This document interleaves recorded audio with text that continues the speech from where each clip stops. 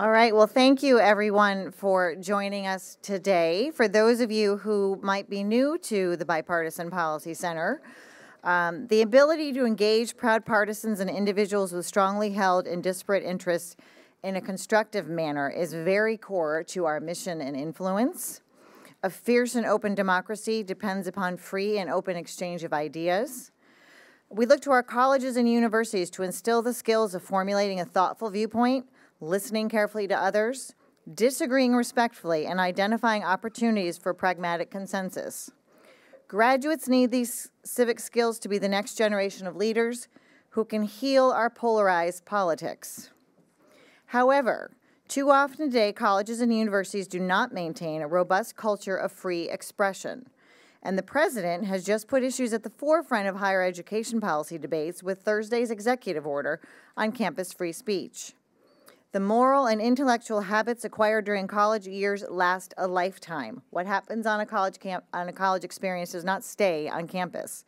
When students graduate without practice in free, open, and respectful exchange, they're not prepared to be the leaders our country is going to need. That is why we are launching the Campus Free Expression Initiative.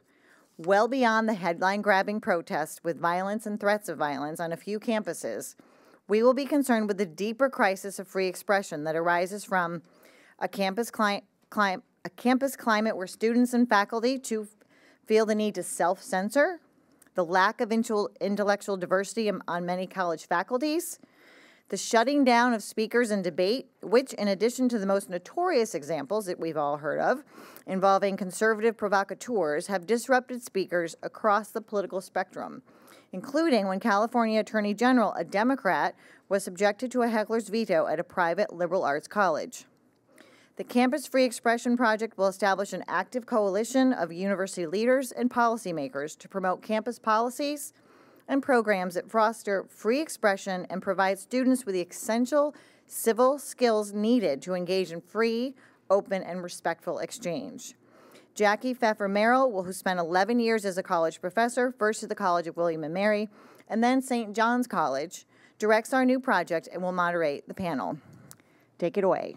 All right, thank you, Michelle. And thanks all very much to all of you who are here today to join us for this uh, panel. I think we're going to have a, a, terrific, lively discussion. You do all have the bios of our speakers, so I'll just introduce them very briefly and, and get right into our conversations. Uh, Eric Fingerhut is CEO and president of Hillel International. He represented Ohio's 19th district in the U.S. Uh, House of Representatives. He was an Ohio state senator, and he was the person in charge of Ohio's public university system as, as uh, regent of, or chancellor of the Ohio Board of Regents, a system that includes uh, more than a dozen colleges, or private, uh, sorry, public. public universities, and uh, almost two dozen community colleges.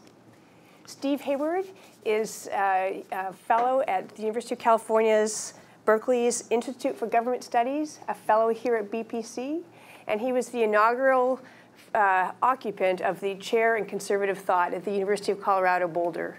Before he returned to campuses, hmm. uh, he had a long career at think tanks here in Washington, D.C., including more than a decade at the American Enterprise Institute.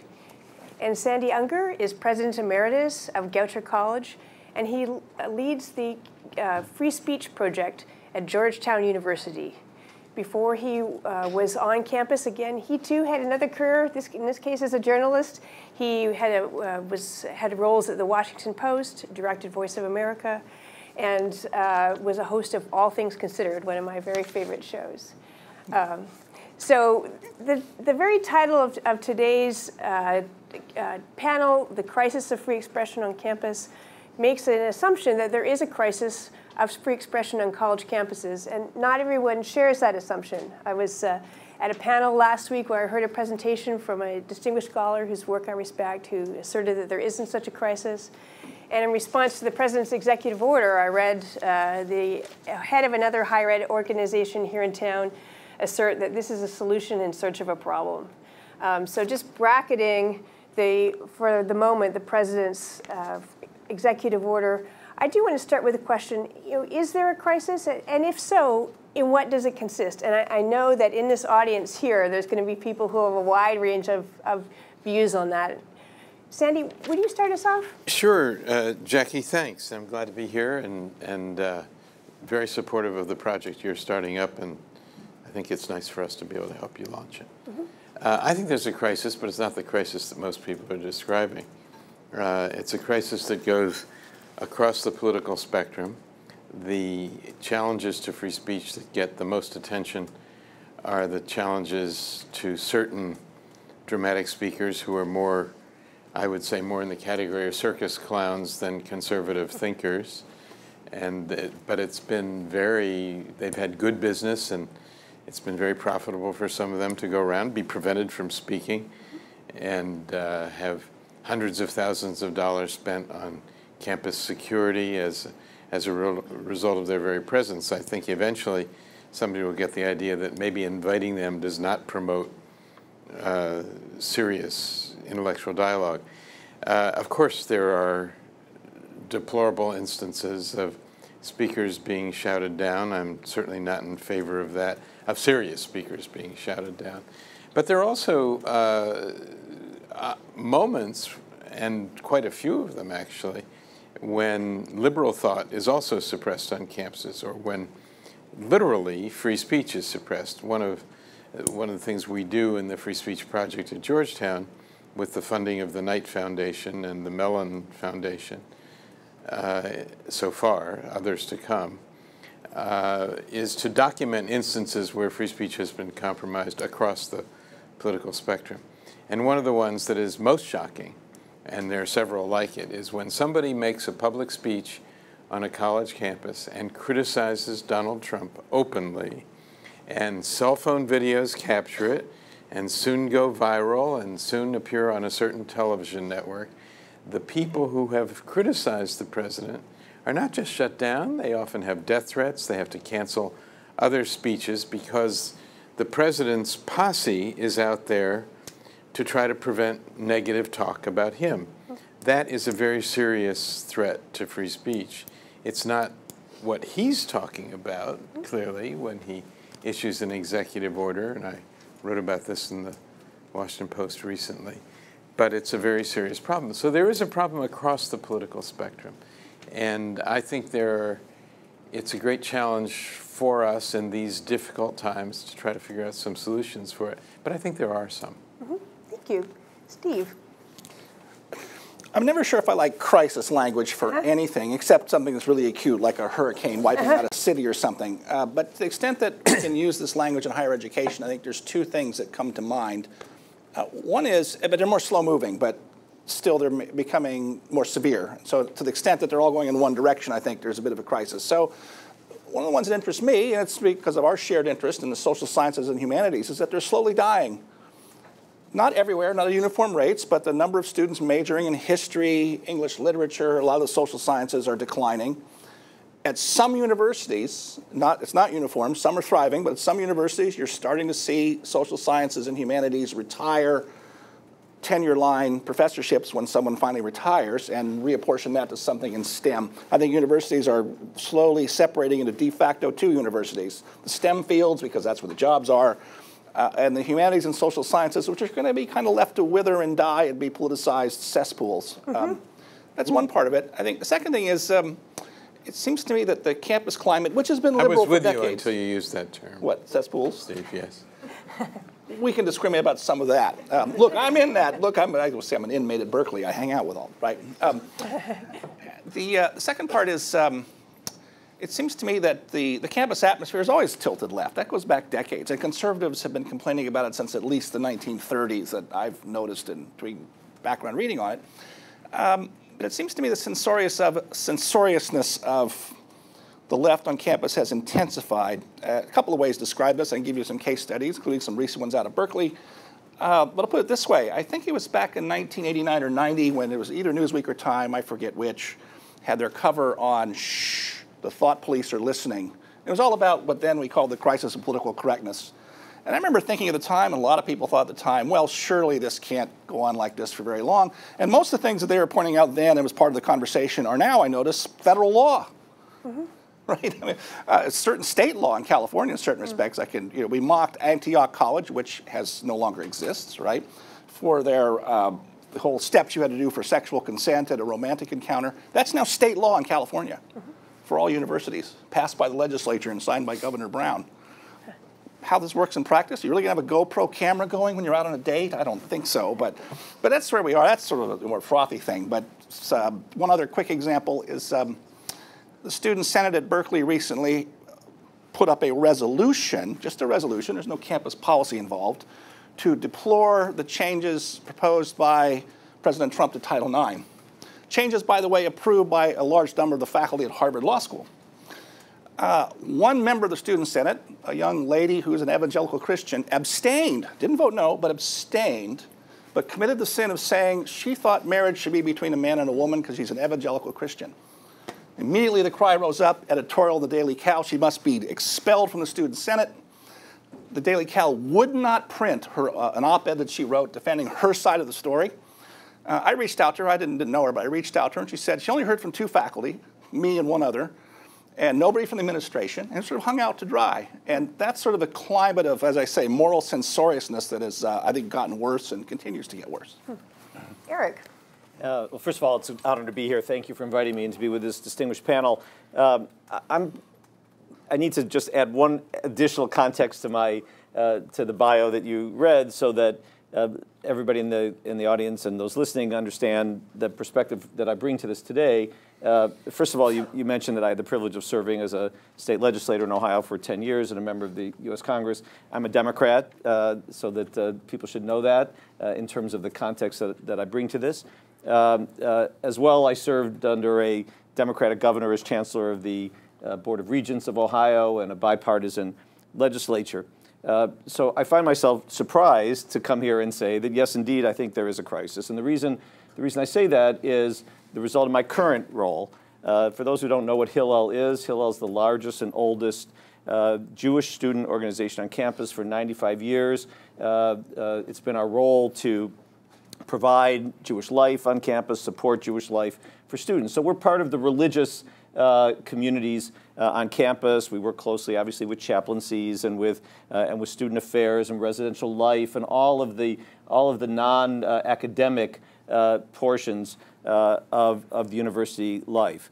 Um, and I have to say that I did not expect that in the time that I've served in this position, the amount of time that I would be spending dealing with university administrators about the problem of their campus climate especially so because every university brochure has some page or phrase or paragraph promising and encouraging diversity uh, and welcoming of different uh, of, of, of, all identities uh, and certainly those of, uh, uh, of religious faiths. So there's a, there's a practical, there, there's a piece of this that I think is relatively easy that I think the, the uh, higher education community can and should address quickly, and then there's a part that's much more difficult. The, the part that's, e that's relatively easy uh, is, uh, uh, Sanford mentioned the shouting down of speakers, um, and I want to say that while uh, I think you used the phrase circus clowns, uh, while there certainly are some of those who are invited solely to be provocative, and we all know, we all know that's the case, that this extends beyond the circus clowns. Uh, so, for example, uh, uh, our Hillel at San Francisco State University invited the mayor of Jerusalem, who was on a tour uh, of, um, uh, of California, visiting Silicon Valley, et cetera. Um, and we knew, given the, the climate on that campus, that that would be a, uh, a controversial, that there would be likely be protesters. We worked with the university administration, with the police, et cetera, uh, to, be, uh, to be prepared. And yet, the university allowed that, uh, it, that, that event to be so disrupted that it was dangerous and ultimately was shut down. When was that, Eric? I'm sorry? What, what year this was This was that? about two years ago, about two years ago, quite recently. Um, and, uh, and we were told at the time that the protesters were exercising their free speech.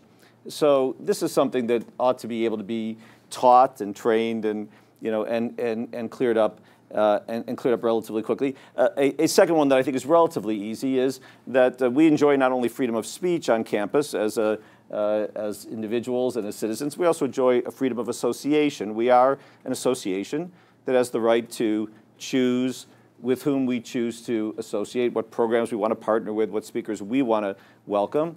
Um, and, uh, and we're quite frequently uh, under attack for choosing not to associate with, uh, with uh, uh, individuals or speakers that, uh, that, uh, that do, do not uh, share the philosophy we, we bring to the campus. So again, I think those things are easier. I think the harder one, uh, Jackie, if I could maybe tee up something for the discussion, um, is that the title of this panel includes not only freedom of expression, but also ideological diversity.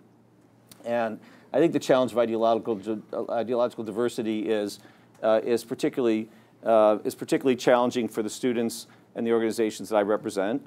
Um, so uh, I think that it's, uh, it's relatively well known that, uh, that the uh, Jewish students and, and the Jewish tradition consists both of a faith tradition, but also of a nationality, of also of a peoplehood tradition.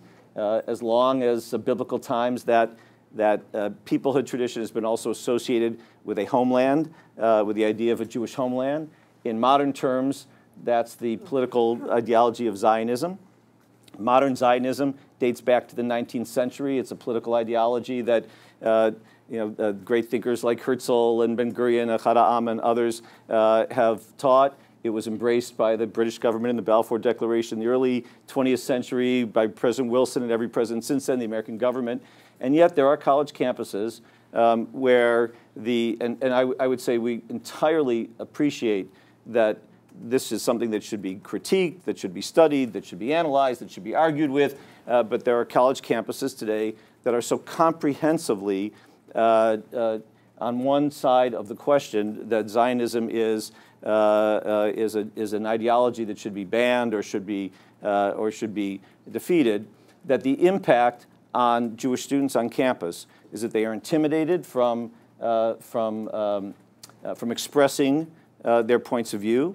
We have had instances like what Stephen mentioned where Jewish students have been excluded from student government or from committees, other projects because they've traveled to Israel or they've been to Israel.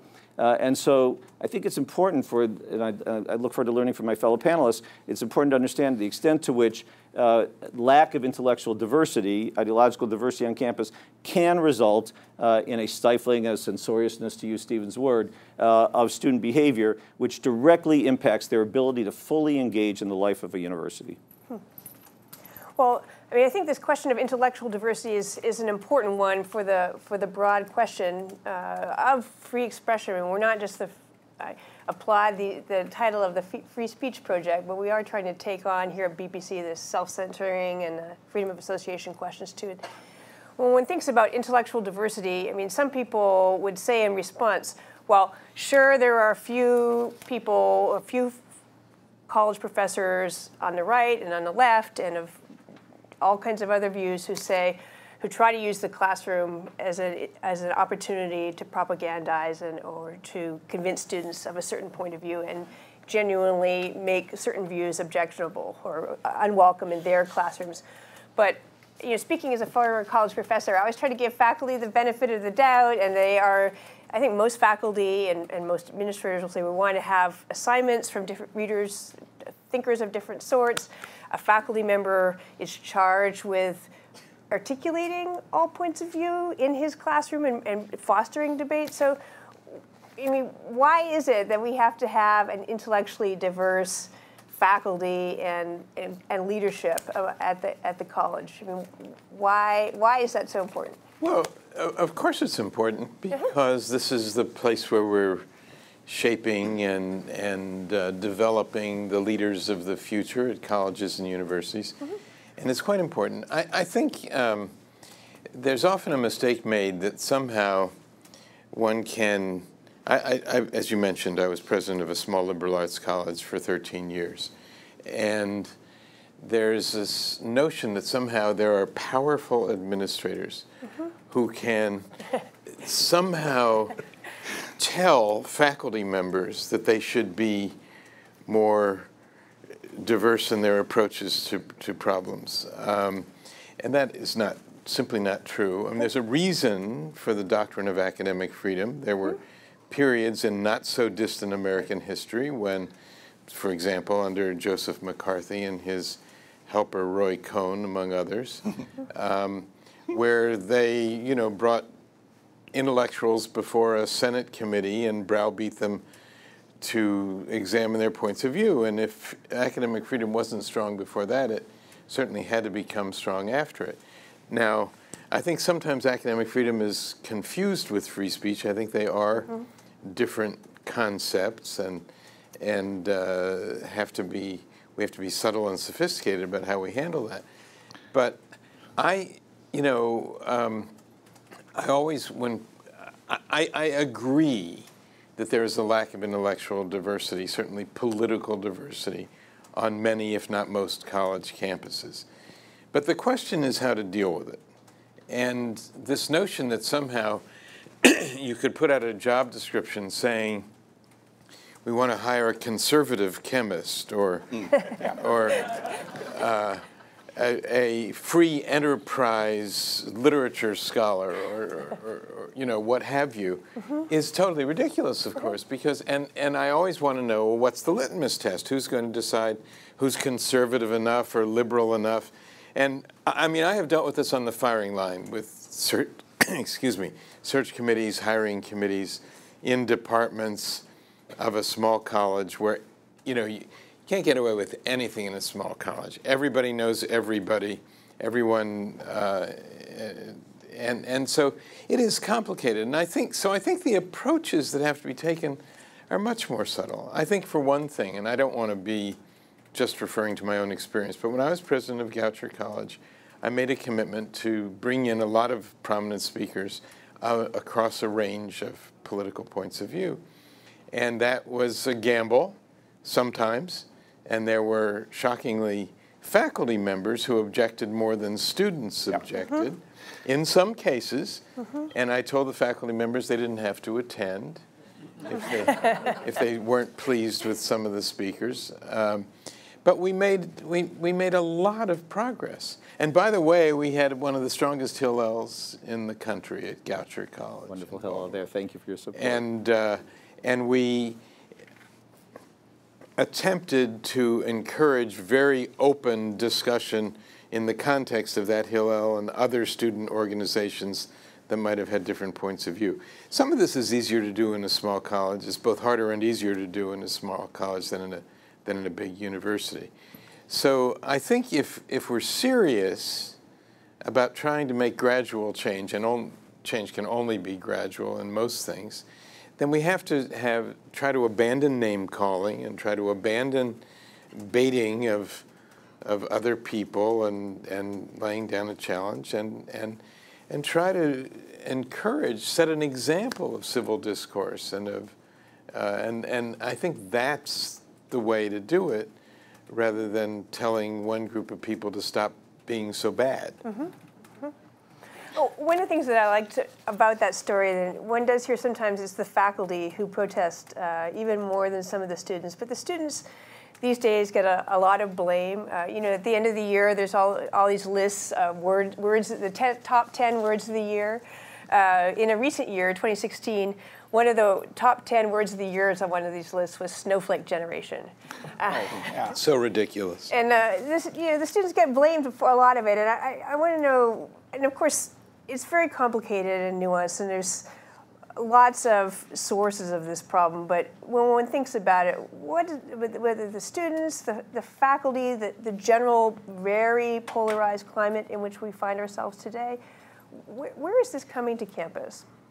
Mm. Um, See, I, I, don't like that term snowflake. I don't. I think it's but ridiculous. This, this pains me to be agreeing with you so much, though, Sam. I know we're going to have to find some things to shout at. Well, okay. I bet, I bet I can figure. I bet I can find some. It's a slur on students. It is. Um, but, but again, like free speech and certain other things, it's what's below the waterline is much more important. So mm-hmm. one thing that alarms me is that the there's an attack on the idea of free speech itself now, not just whether hate speech can be rendered an intelligible legal category uh, and made a, you know, a, constitutional issue. But uh, what I've noticed and been looking at a lot is these twin attacks on free speech, one theoretical, one empirical. The theoretical one comes from you know postmodern linguistic analysis that speech itself is a tool of power, right? And what always amazes me about this is this is thought to be a blindingly original insight of the last 20 or 30 or 40 years from various French linguists that you can't understand. In fact, that argument is in Plato's Phaedrus and mm-hmm. uh, the Gorgias Exact same argument in substance, but nobody really reads those documents anymore with great care or ponders Socrates' refutation of them.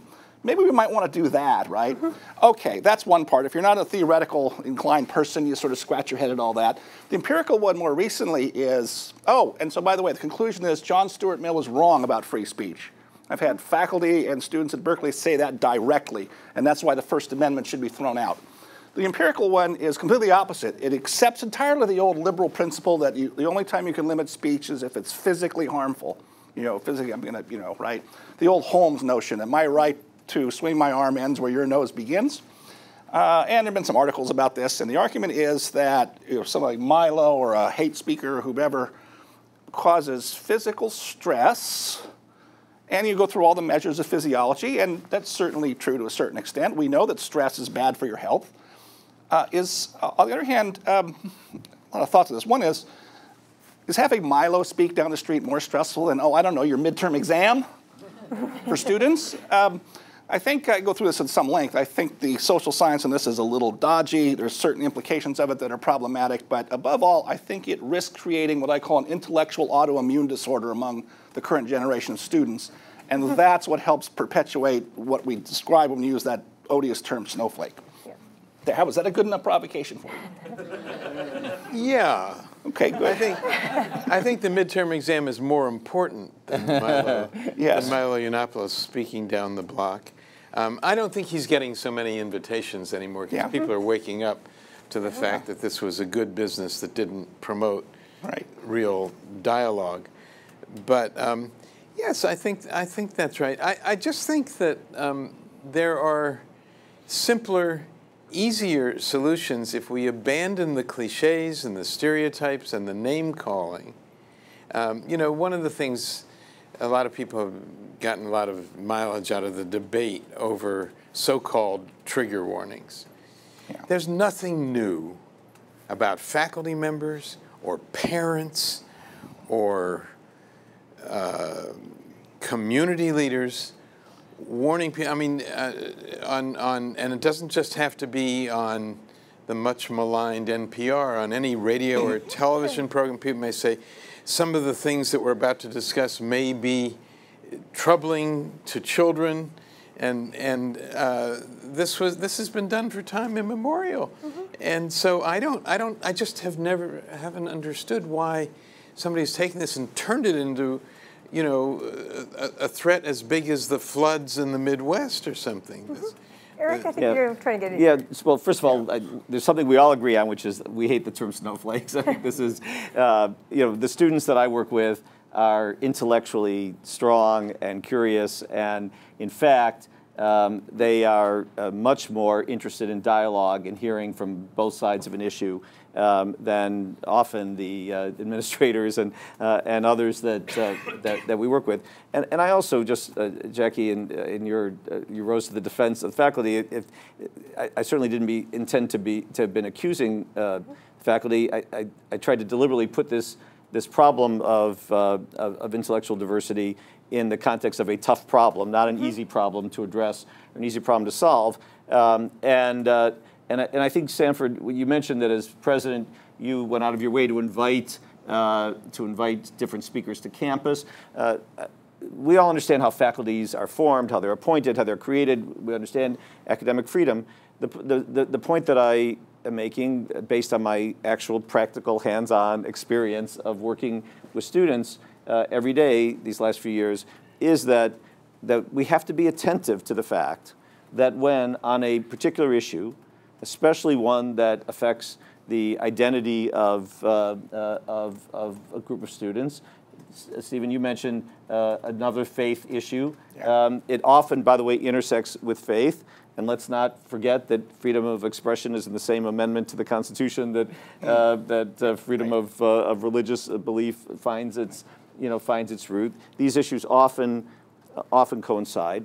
That we have to be attentive that if, as a result of the natural academic processes of university, uh, we find ourselves in a, in, a, in a position where what is in the world a very uh, established uh, idea and uh, intellectual uh, strain of thought is not being represented uh, on the campus, that we should make efforts to make sure that it is represented um, and that the full uh, and that the full debate is heard. I, I don't know much about the, the, the, the seat you hold in cons- you held in conservative thought. It sounds like that was It's got prob- to be unique in the world. it sounds Yeah. like that was probably an attempt to do something similar to what I'm describing. It doesn't have to be an academic position. Uh, it can be speakers, it can be programming, it can be Think what would- conversations and other Think things. what would happen if there were a chair in socialist thought someplace. If it were Well, called. you don't really need many of those because you have so many. other- well, but just, but just, just, Yeah. just think of it. What would, what, what the warnings would be, and what the there, there's, there's something. Uh, certain vocabulary words are more acceptable than others, and that's not just to the left. Mm-hmm. It's to the right as well.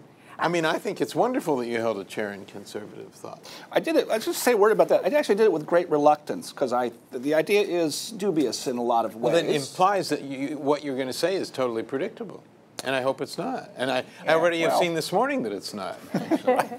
Um, I, I, I, we maybe talk about this over lunch. I don't want to belabor it here, but I took it with great reluctance. But I did it in part because they really didn't know quite what they were doing, and I thought someone needed to help sort of. No, That's they a didn't know what very they were going to dangerous get. kind of job to take. Well, but that's I thought somebody needs to try it and sort it out and make I it agree. sensible, and I can go through all that. And it- by the way, it's thriving. Uh, they're now they're actually about to hire someone permanently. They've asked me to think about it. They've raised 18 million dollars for their Center for Western Civilization there. well, that now that's something different. Center for Western Civilization. right. Because Right. not all not all thought about Western civilization is necessarily conservative. I totally agree with that. Uh, and uh, okay, because that's a longer story.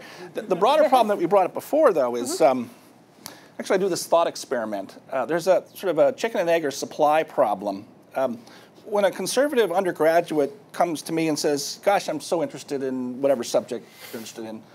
In the humanities, should I go to? I'm thinking I want to go to graduate school, and I hesitate for a long time, in part for general reasons. The market is oversupplied anyway, right?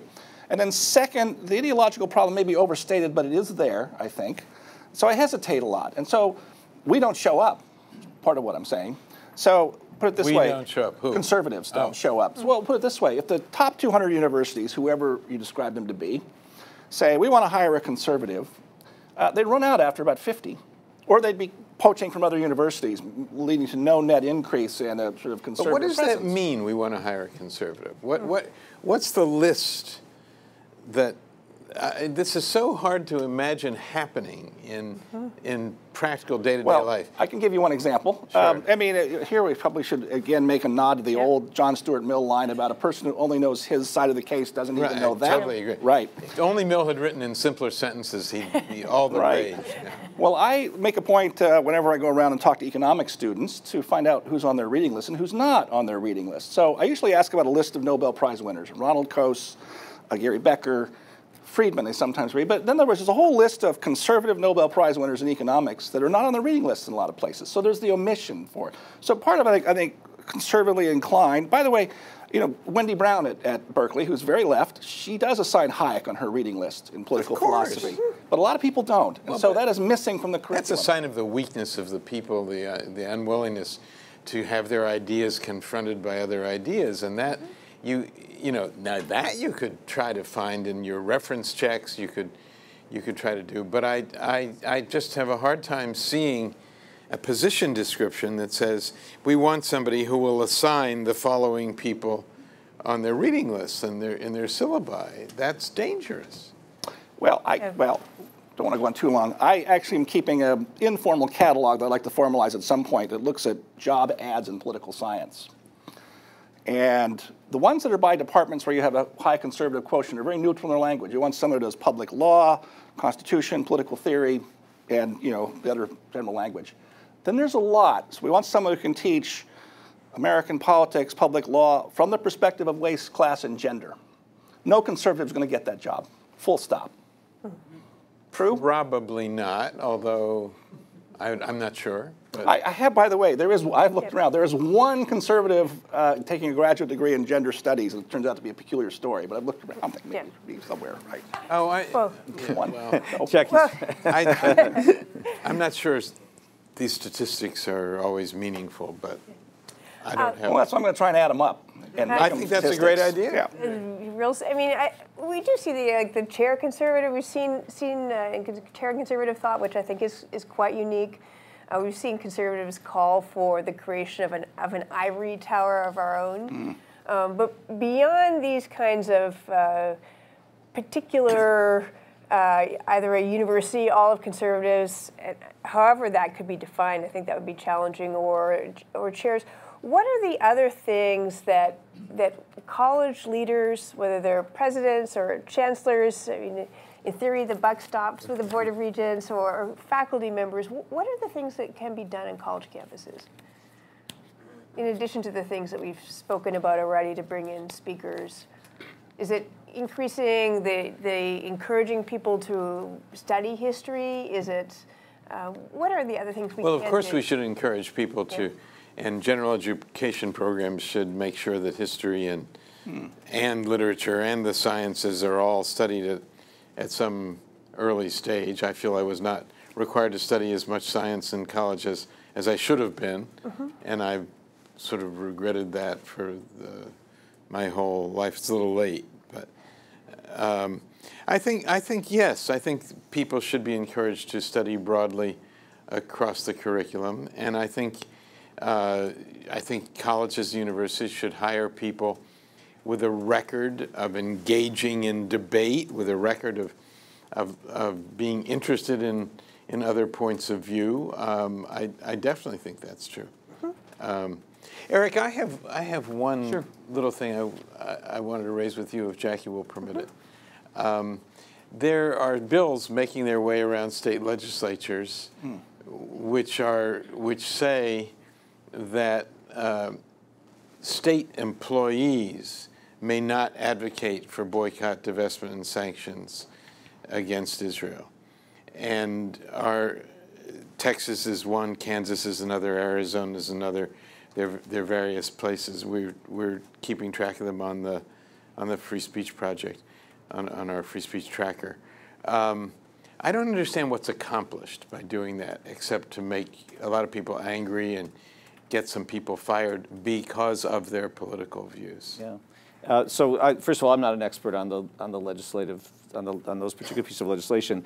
I have to say, maybe you are more expert than I, but I have to say with respect, I don't understand them the same way you just described them. Certainly, they have nothing to do with advocating or with free speech or positions. It has to do with public institutions using their uh, purchasing power, their contracting power to uh, engage with or with uh, uh, entities that are that are supporting the boycotting uh, and divestment uh, movement. But I, I, think we, I think we probably would, would best leave that for another day. I, I want to be really clear that there's nothing, Hillel and I personally support the free speech on campus 100%. Good.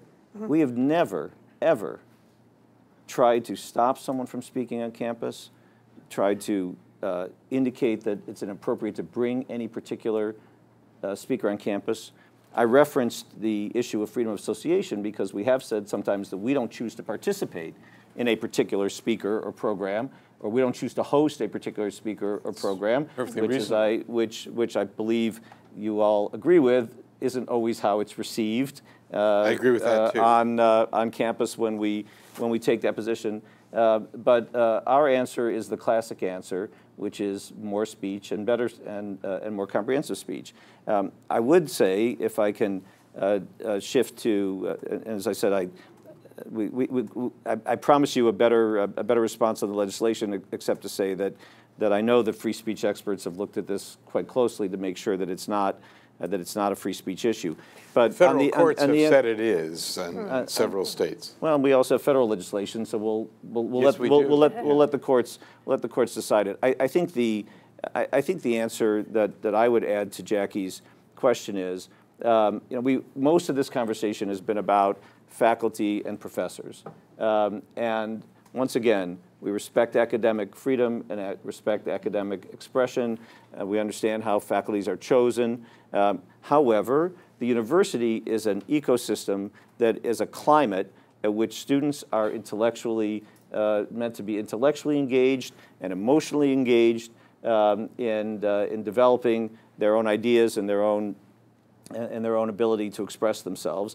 And as we all know, uh, a huge amount of that student development occurs not just in the classroom, uh, but occurs in the entire climate uh, of the campus. After all, you know, if, if we didn't care about campus life, we could, uh, you know, we could learn online and, uh, you know, and have all of our people have, have all of our universities online. Many people do, uh, but we still have places like Goucher College for a reason, right? Because there's, and you invest in student life, uh, you invested bet. at, Yeah. in student life for a reason. Um, and, uh, and so what I wanted to suggest to you, Jackie, and to this, uh, this project as it begins to unfold, is that there's an entire part of the university um, that is, uh, that is uh, responsible for, the, for portions of that campus life and responsible for portions of that student experience. I mentioned them, some of them earlier, uh, student affairs and diversity offices and chaplaincies and, and a whole variety of institutions that are as much a part of the daily life of students as is their, uh, as is their interaction with particular, uh, particular faculty members. Um, and, uh, and, and I just would be not doing my job as a member of this panel if I didn't uh, urge this project as it launches to look at uh, the challenges um, that students who hold differing opinions uh, or as a result, either as a result of their faith traditions or a result of their political, uh, or their political ideology are experiencing when that opinion is a relative minority opinion on campus. It is exacerbated, to be sure, when the comprehensive opinion of the faculty with whom they're engaged is all also uh, opposed to their, um, you know, to their uh, position. But, but this, is, this is an issue that is, uh, that is worthy of attention. Uh, I see it every day in students who are finding themselves challenged to raise their, uh, to raise their voices. And as we said, I, f- I see them also being excluded from activities on campus as a result. And we're going to have to turn to the president's executive order in a minute, and I want to let Sandy respond first. But I, I want to I want to add one. It seems like one of the parts of the conversation is to whom does free speech really attach? Is it the students? Is it the university body as a whole? Is it groups within? But Sandy, please. Well, first, I just, I just want to urge us to avoid generalizing about the situation on all campuses because there are some things that stand out. But we're, we're really down in the weeds in my project.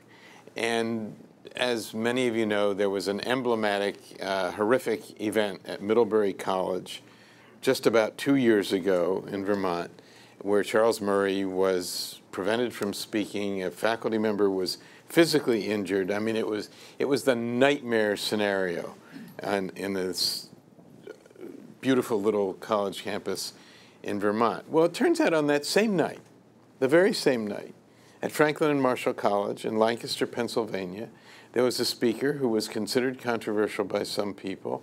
I would not have considered him necessarily controversial. There were people who were protesting. They had they got together, they had a conversation, the speech went ahead, they had discussions afterwards. And so it is possible. We're, we're developing curriculum models now on free speech in, in my project, and, and one of them is about the events in Middlebury and comparing it to, to other places mm-hmm.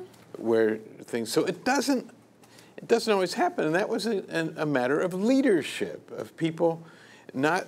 Uh, see, I think one of the problems is that the, one of the lessons going out to students is that they have to declare themselves as being on one side or the other. Are you a liberal or are you a conservative? Well, you know, most people, most, certainly most college students who arrive, they come with all these different backgrounds. They they may have as many different interpretations of free speech as, as we can think of and that it, it, it's not meaningful to them to have to declare themselves as one thing or another. They should be able to have conversations about issues and not have taboo opinions, a list of opinions they can't express or opinions they must express. And I think part of the problem, what, what has given some people on the right a bad name about this whole issue is this notion that somehow uh, people should not be should have to be willing to engage subjects like white supremacy. Richard Spencer, the we we all know who he is, and um, that if he comes and talks about his vision of America, which has a remarkable similarity, he would admit to a certain failed ideology in Europe from from the 20th century.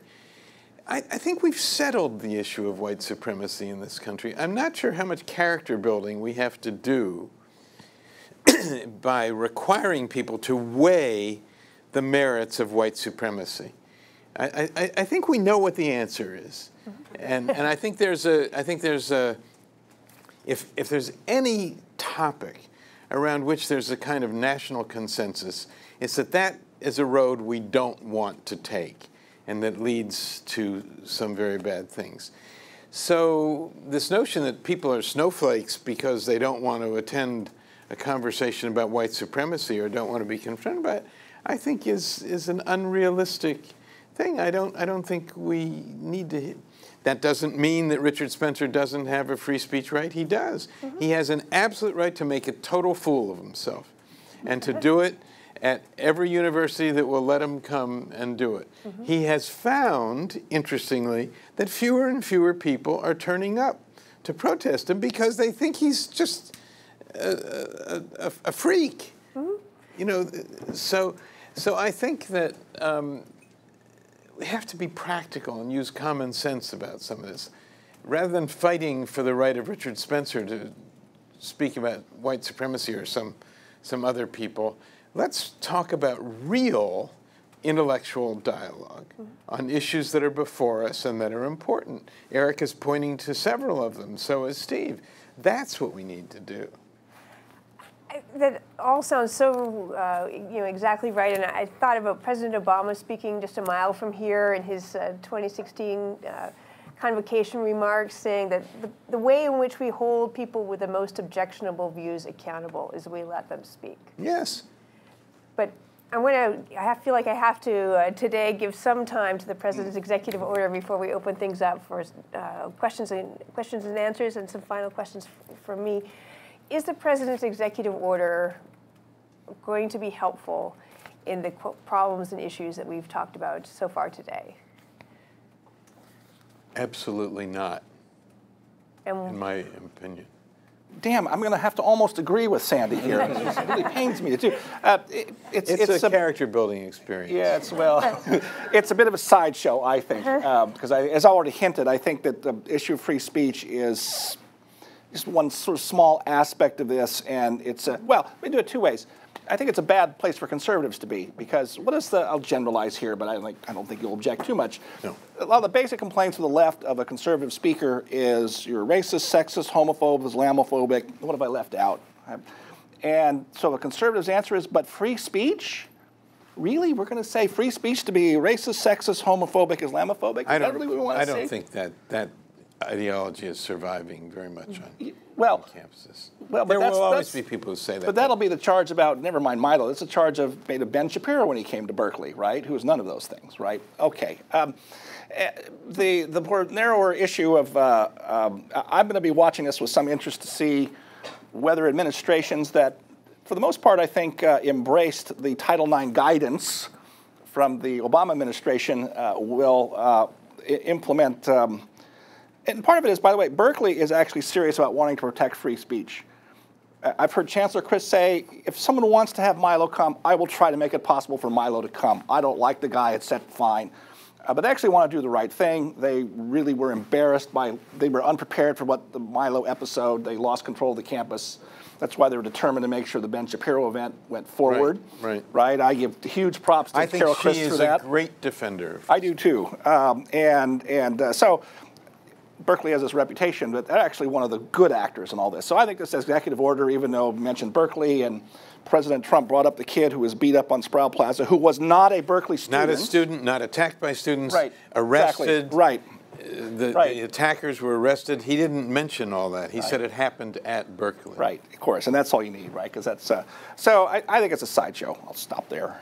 I, I- I think this is probably something we're going to agree on, and maybe and maybe we can dismiss relatively quickly. I, I do at least have the sense that it's aimed at the, the circus acts or whatever Sanford your your, uh, your your your phrase was, and uh, and I agree that those things are really not the core of the issue that, that we're addressing today, or that I hope this project is going to is going to seriously tackle, um, because as I've indicated, I think there are some serious issues to be to be tackled. Um, I, will also add one other thing, which is, you know, I was the chancellor of a public university system. I love universities of all kinds, but I particularly love public universities. I spent a, probably 80% of my job was to advocate for more public funds uh, for, for higher education, maybe 90%. Uh, uh, and, uh, you know, and, and there's, uh, to me, to, uh, I, I, don't wish to threaten in any way or indicate in any way that the public support of of higher education in this country, which has grown and continues to grow, not just in research, but in financial aid and all the, all the various areas,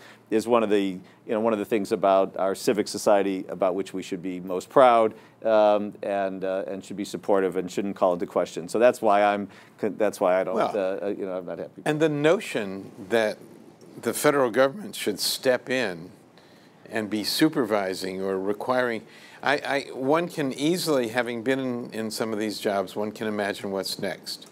The establishment of an office someplace uh. to monitor compliance yeah, right. with equal access to different opinions on college campuses.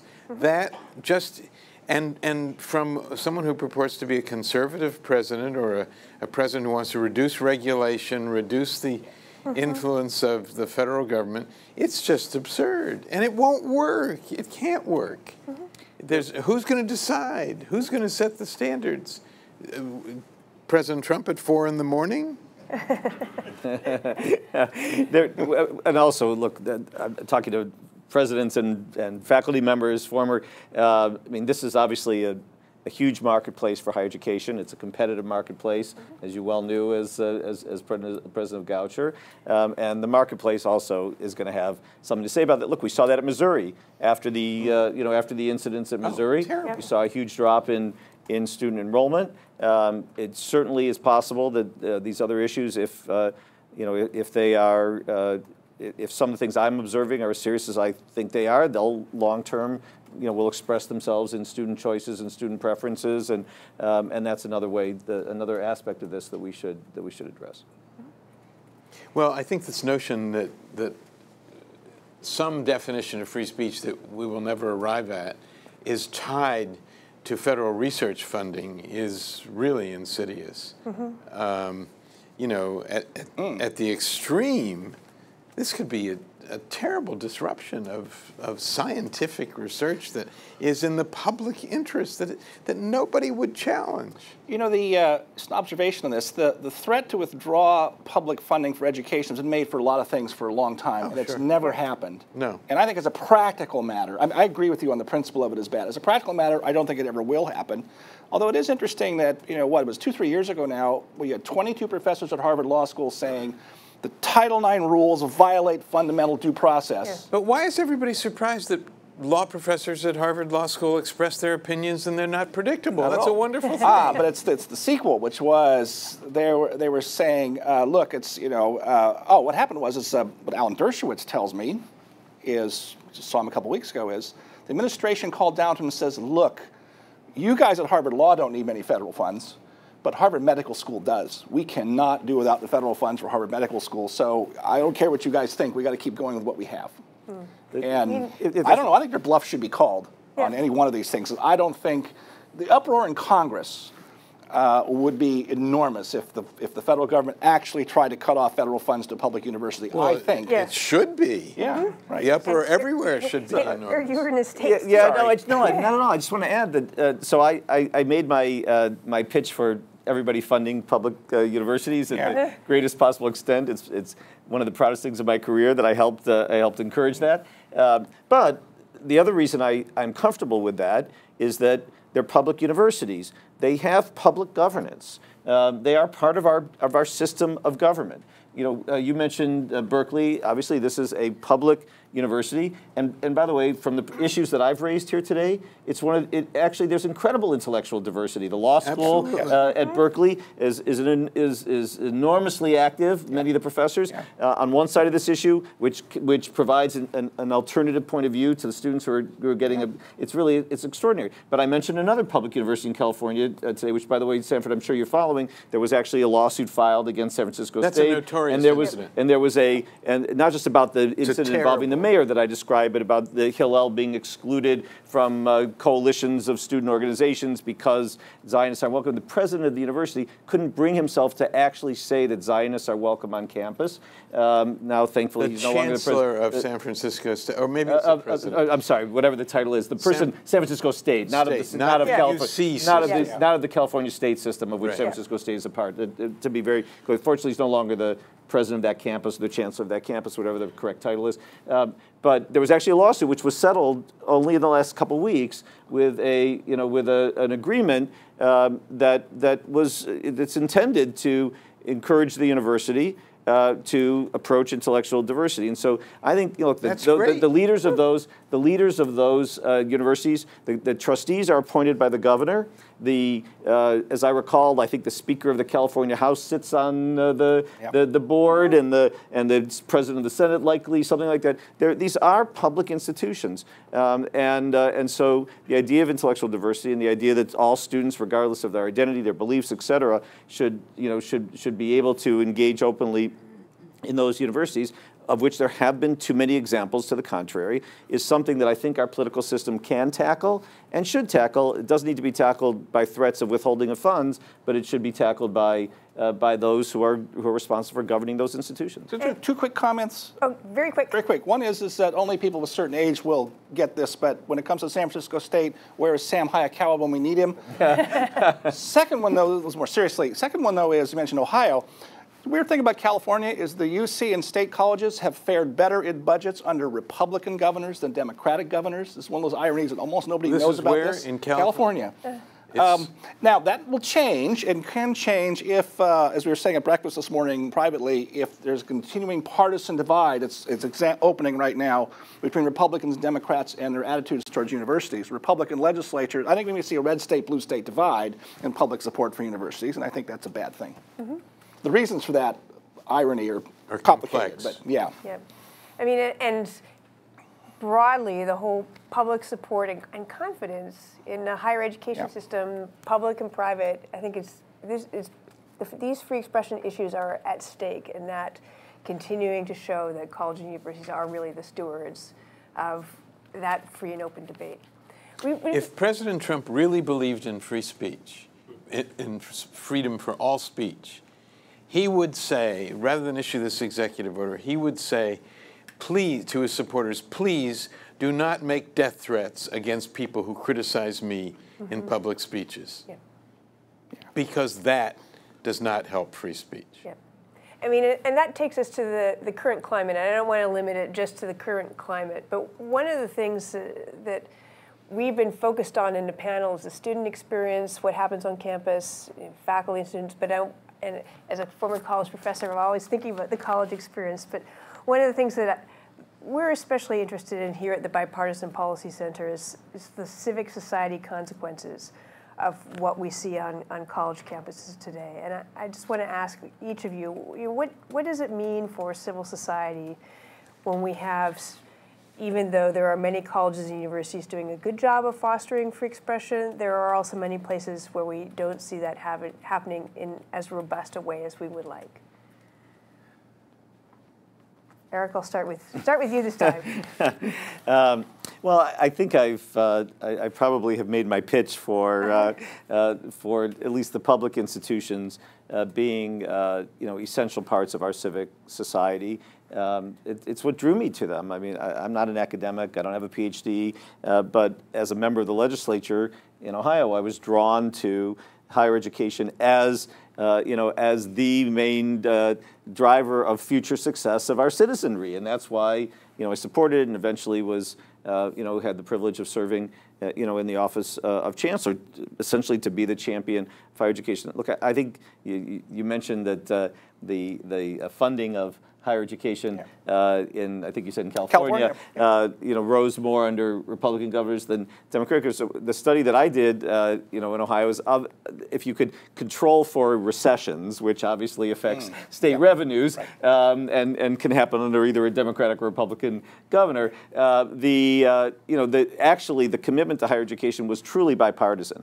Um, and uh, you know, and uh, you could uh, in Ohio we had the famous Governor Rhodes, followed by the famous Governor Celeste and others, and everybody added institutions. That's why we have so many institutions of higher education. And every if you have a two-year school, you want it to become a four-year school, and if you have a, a branch campus of a university, you want it to become a uh, you know an independent uh, independent university. There's a there's understanding of the role. Uh, you know, obviously the land grant and all of these these incredible uh, marks. These are actually, uh, you know, these really are the cornerstones of our civic society. So the, the BPC believes it, and, and, and I believe it. I believe everybody in this panel believes it, which is why, which is why um, that uh, we do need to be uh, attentive uh, to, uh, to, to, the, the cases that exist when we end up in a situation where, you know, where there really is a sort of an enforced way of thinking uh, on any set of issues.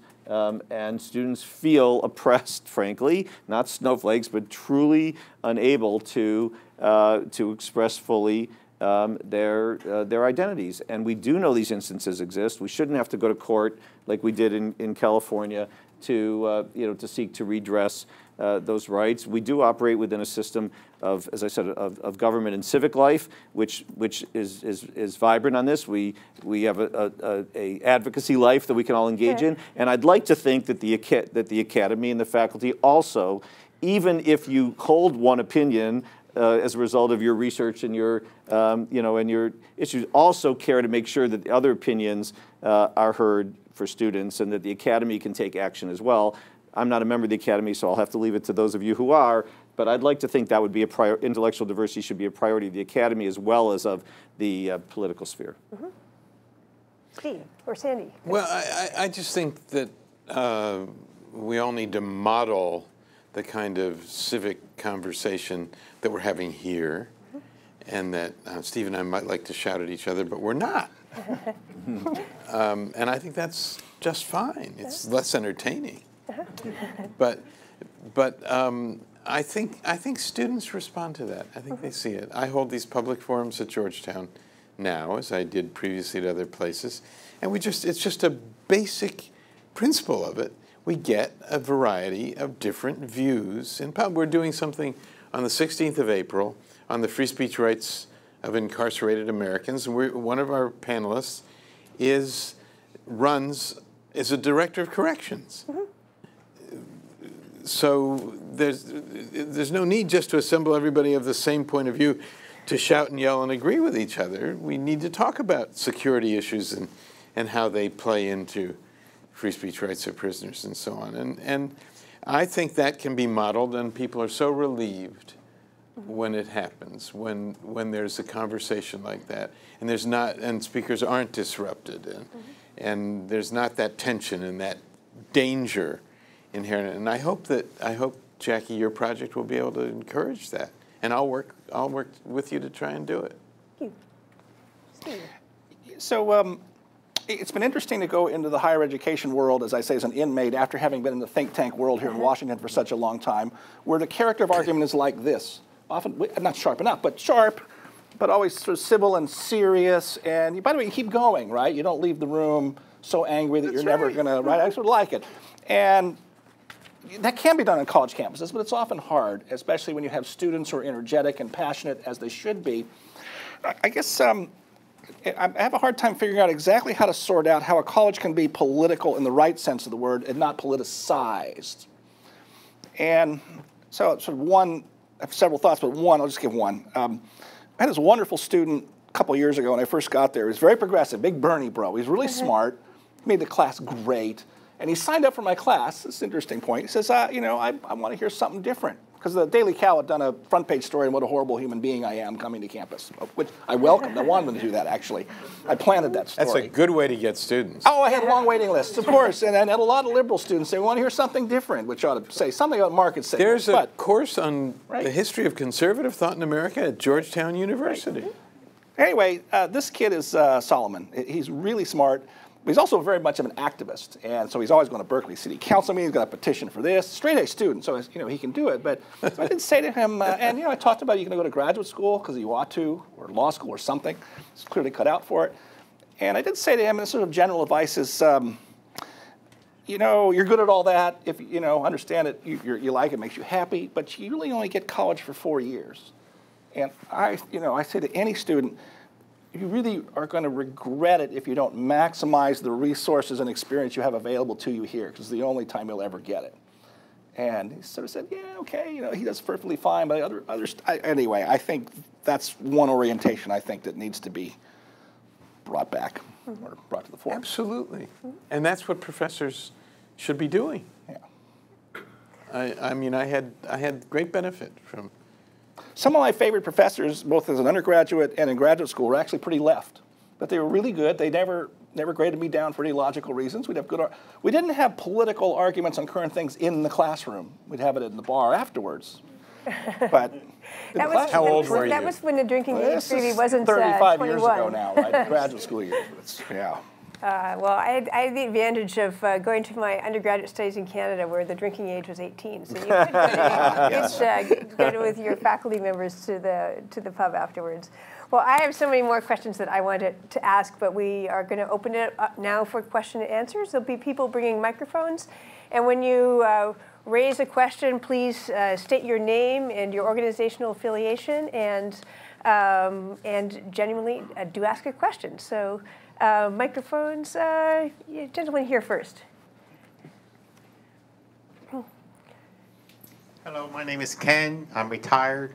Uh, my question is so, how does someone go about drawing the lines about what views, if any, or what articulation of views, if any, are outside acceptable bounds?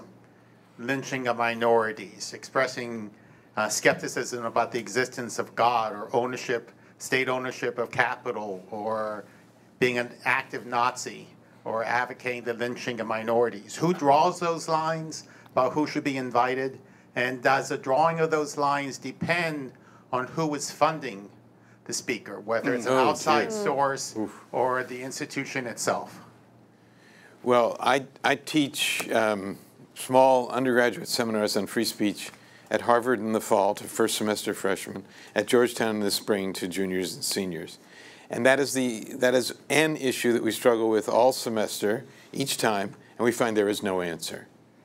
It's very difficult to draw boundaries, and there are political contexts, there are violence, anything that advocates violence, it seems to me we are, we are on safe ground arguing against it. I mean, those people went to Charlottesville in August of 2017 may have had a right to express their views. Uh, they do have a right to express their views, but when they bring weapons, when one of the notorious guys had was carrying eight or nine different weapons on his body, I have a problem with that. I don't, I don't think that's just free speech. So that's literally weaponized, not just metaphorically weaponized when he does that. So I think we sometimes depend on, on moments on the firing line about when danger is raised, but it's very hard to draw boundaries. Yeah, I mean, it, it, you pick one example you gave is someone advocating lynching of minorities. I actually think that falls under the prescriptions of the law of harassment and incitement, where we have some fairly, they're not perfect, but we have some bright lines on some of that. I, I think the difficulty We've difficulty settled is, those questions, as I said before. yeah, the, the difficulty I find is, so you mentioned Richard Spencer. He came up one day at one of our big discussions in a packed house at Berkeley, and I said, look, uh, being a public university has to be open to all comers. Spencer won court cases for access to University of Florida, I think. He did. Right. So I said, so look, I mean, my attitude about this would be, this is, there's a sort of a, there's a twist ending to this. I said, my attitude should be, if you can't stop him from coming, um, first of all, let's uh, organize some support structures for students who are upset about it, and you know what's the counter argument to him? Not actually. i want to be in the room. I want to be first at the microphone. And the outline of my argument is you sir are anti-american. And as such you are an illegal immigrant who should be deported. Now what do you think the reaction to that was? The reaction was i used the term illegal immigrant even though I was using it ironically, uh, the kind of language Spencer would use, and a whole lot of students reported afterwards how upset they were that I used the term illegal immigrant on the Berkeley campus. Because you can't say that, you got to say undocumented alien. It's the term of art. No, right? not alien.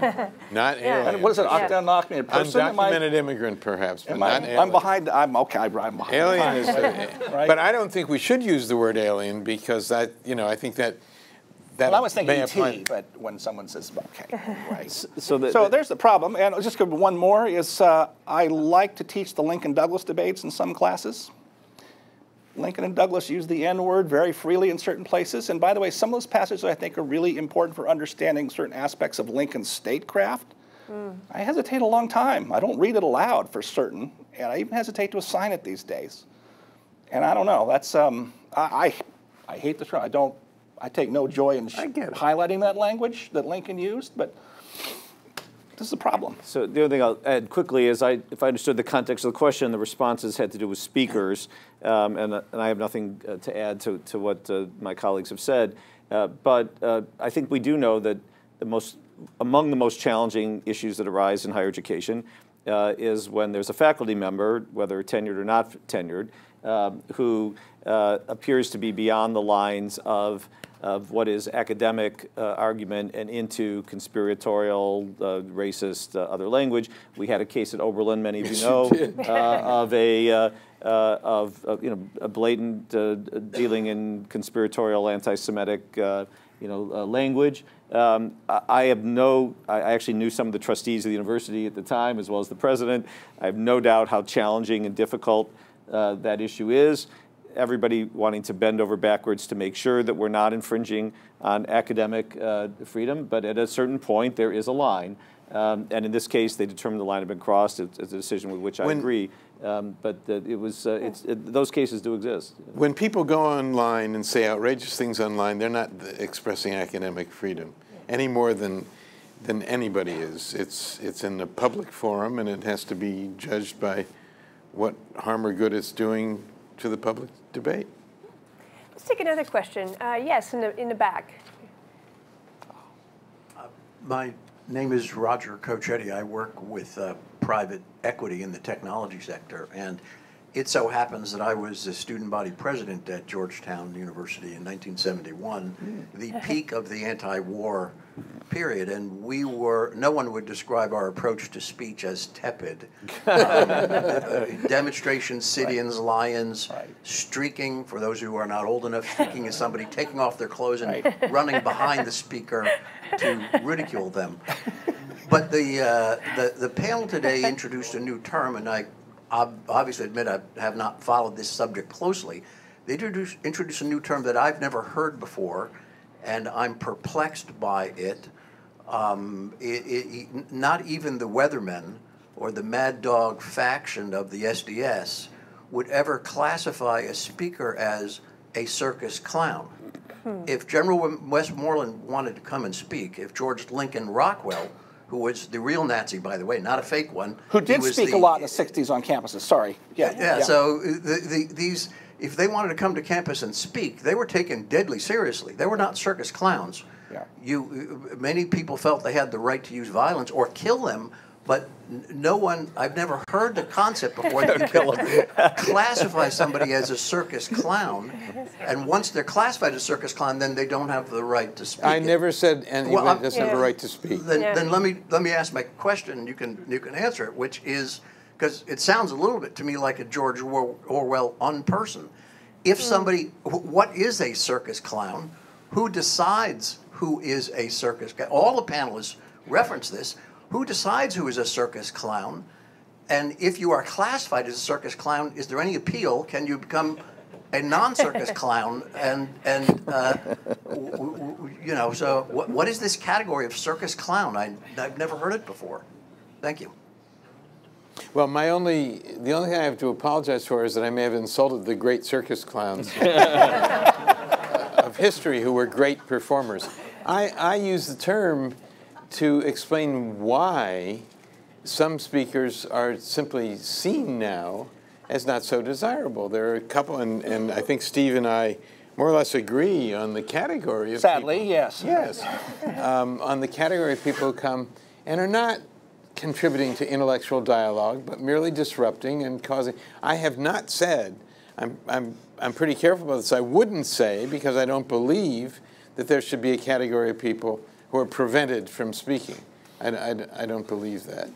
Um, but they're just people, the, what I was trying to say is that the debate often centers around some of these characters who are not contributing to intellectual dialogue, but are behaving in a manner that contributes to disruption, often to violence, to security threats, and, and I, are therefore not to be taken particularly seriously.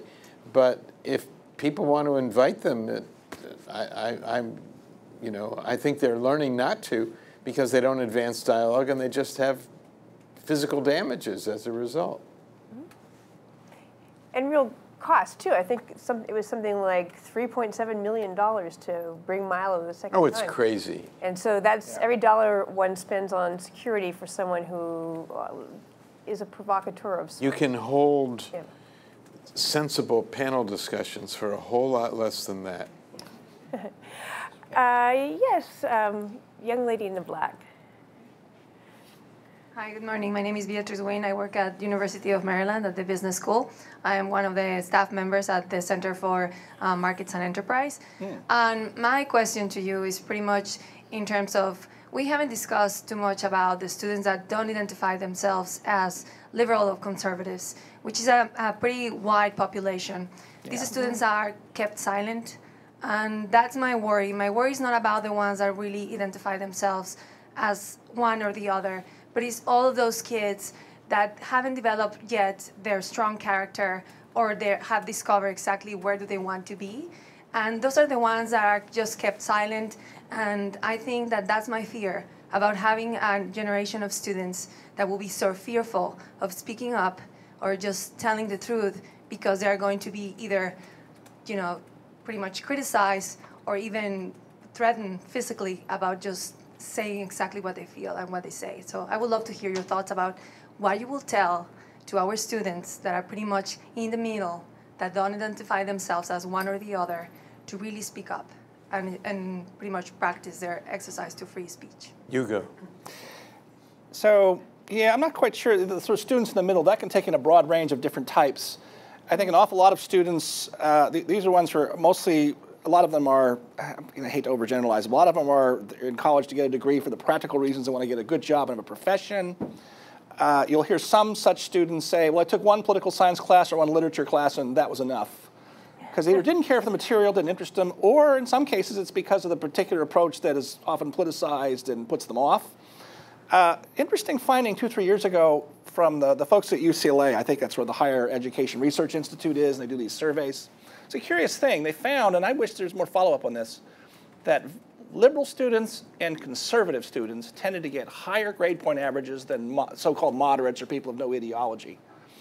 And I, I, I want to know more about that. I'm not satisfied with that top Very line numbers we say in surveys. Where was that done? I think it was the Higher Education Research Institute. people who do all those big surveys, right? Right. I think it was them. I got to go. I read this three, four years ago But- now. And anyway, I, I sort of wonder if that's true and that's sort of meaningful in the way a survey should be. I wonder if that's because of a certain commitment to an ideology, just makes you, uh, you know, more curious, work harder, even if it's along one track. I'm not sure, uh, um, but I'm very curious about that. And yeah, it's the students in the middle. I mean, I don't know. You can't tell about students because a lot of them. I mean, I've had some big classes, and I, I have no idea what the students might think because they don't tell me. And it's, by the way, I don't ask them. I shouldn't, fine. right? exactly. I can totally agree with all that, right? And so I'll have ones on the left, on the right, tell me what they think, and that's great. Uh, it's the ones in the middle. Yeah, I don't know what to make of that. I, I have two reactions to your question, if I may. One is you imply that somebody is keeping them, they're kept from expressing their opinions. I don't understand who that is. I, I don't, I don't, I'm not aware of anyone. Sometimes it's self, self-censor. Well, they may self-censor Some- some themselves. Fear of, you know, their, whatever they say going viral, and then pretty much getting back to hmm. them in the future hmm. for job purposes Yeah. or whatever it is. But that's pretty much what I'm seeing in the classroom. Well, I'm Oh. kind of against cell phone videos just in general for that reason. Footnote about that, especially at smaller liberal arts colleges where the classes are 15, 20, 25 students, a lot of students will tell you, it's concerned about it can be any kind, that their biggest fear these days is not the professor who may disagree with them or maybe thought might grade them harshly, but it's other students get on social media and say, you know, someone said something awful in class. And Steve, I don't doubt that that's happened in some Yeah. places, but my lived experience running a college, working at colleges, working at American University before that, working at Harvard and Georgetown is that that is, I think that is quite rare. I really do, my, in my experience. The other thing I want to say is I would encourage moderate people who don't declare themselves as one or the other is stay right where you are. There's no need. You don't. You don't have to be one or the don't other. have to choose teams. No. Yeah. You don't have to be on the blue team or the green team of the color war. I mean, it's just, it's just fine. The, the only the only thing I'll add to this is, uh, you know, I'm I'm I'm I've put challenges to the universities today. Uh, I don't actually think this is one that is comprehensively about the university. I do think, though, it's about teaching and pedagogy and education in general. Uh, you know, our work is about trying to draw out students who aren't engaged uh, every day, and so we spend a lot of time uh, studying and thinking about and talking to the best educators about how, how we do that. I'm sure you work hard on your pedagogy as a teacher, you know, in, in your teaching mode at the University of Maryland. Um, and uh, and this, is, this is one of, the, uh, one of the challenges. We know that when an issue is highly politicized, uh, and there are people on both sides that are, you know, going at it like crazy. Uh, you know, the, the others shrink from from jumping in. It happens at my dinner table. You know, my son, one of my one of my sons starts yelling about something, and my other son, you know, just wants to shrink away and go, you know, go shoot hoops or something. So the um, so we it is about. Uh, it is about uh, chal- you know, drawing people in and challenging them and helping control you know, the classroom in such a way that everybody feels that they can participate. Another question, uh, yes. Thank you very much, and thank you to all the panelists. Um, my name is Clarissa Unger. I'm the Director of Civic Engagement for an organization called Young Invincibles. Uh, through that, I lead a coalition called the Students Learn, Students Vote Coalition, of which about 400 nonprofits across the country participate in, including Hillel, who is a great partner of ours. Um, one thing I wanted to mention is that I think it's very important that we define both the landscape that we're talking about and also um, just the project itself and discuss that.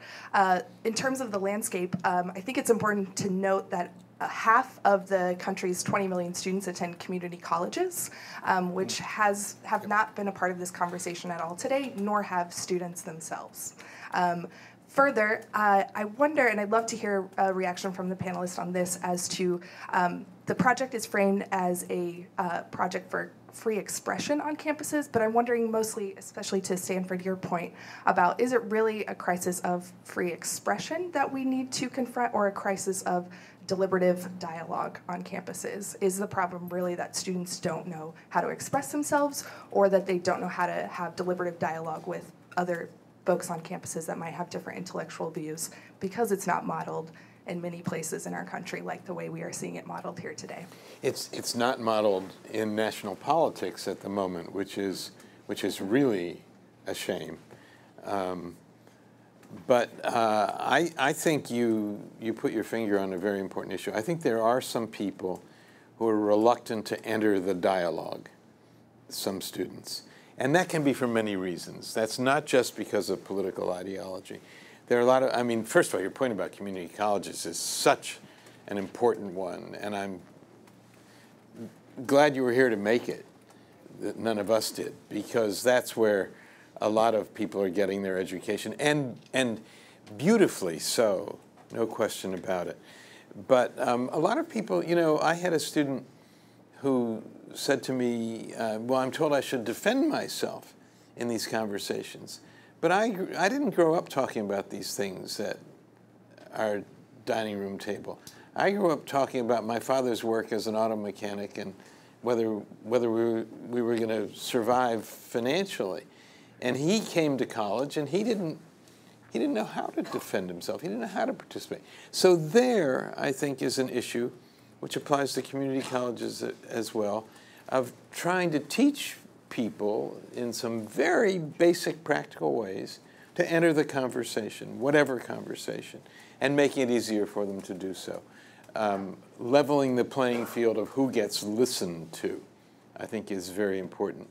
You know, there, we, I've participated in the last couple of years in some conferences about the issue of free speech and inclusion as if they are separate things. Our speech will get freer when inclusion is more successful. And I think it's that simple. They don't, we don't have to choose. Yeah, a quick comment about that. I didn't didn't learn until I got to Berkeley that California's community college system, which has some excellent ones, actually is a very effective pipeline into the four-year universities, Yes. including Berkeley. You know, Berkeley is almost as hard to get into as an Ivy League school as a freshman, first year, whatever we're supposed to say now. Um, but it's pretty easy to transfer in if you have a good community college record. And uh, an awful lot of them turned out to be Hispanics who are first generation of their family to be in college. I try to find this out without, you know, you're not supposed to ask some of these things these days, but I try and find out because I think it's interesting. Um, so it works very well in California, um, and I'll stop there. I'll just, I want to endorse, because the other points have been endorsed, I want to endorse the point about civil dialogue. And I just want to emphasize, and and much in the way that I did to the previous question, this is a skill that requires training and intentionality. It is not easy to do. It's not the, the natural human, uh, you know, uh, instinct to know how to conduct and, and uh, model and, uh, and, and instigate and, and uh, moderate these kinds of conversations. Um, we have a, prog- a project we call Ask Big Questions, you may be familiar with, which is about training students how to lead a discussion about big questions in life and how to listen because of course we all know when we're listening we're already thinking about how we're going to respond instead of actually you know reflectively listening um, and we're actually about to invest a significant amount in the professional development of our of our professionals on the very issues that I've discussed here today which is how because we have differing opinions within our own community of course on these issues uh, on how to uh, make a place welcoming to everybody and enable them to share their opinions with each other. So I, you know, Sanford much, much earlier talked about that some of the things universities could do. One was to bring other speakers with other points of view if they see it being, if, if they see the, the discourse of the campus being too one-sided. Another is to invest heavily um, in the kind of training and pedagogical techniques that are necessary uh, to do this. A campus that really, that students are really uh, en- engaged in, in these kinds of, of dialogue is the kind of place I want to send my uh, you know, kids to, and I think will become a model. But it doesn't just happen. It happens with intentionality and, uh, and frankly, skill. Well, I know we're almost out of time today, and I, I love this uh, uh, idea of asking big questions because that's what I know we're going to be trying to do with the Campus Free Expression Project at, at BPC. It's a very complicated and nuanced uh, set of issues, and I appreciate our panelists so much for, for discussing them today. We're going to be engaging in a number of initiatives and, and visits to college campuses uh, beginning uh, next month. And we'll be bringing together a, working group of policymakers and, and college leaders to try to help us think of thoughtful ways in which we can genuinely teach this very difficult skill to college students, uh, community college, uh, university students, so that when they graduate, we can have a more healthy civic discourse. So I want to thank all of our panelists so much, very much. Uh, Sandy Ungar, Steve Hayward, Eric Fingerhut, thank you very much.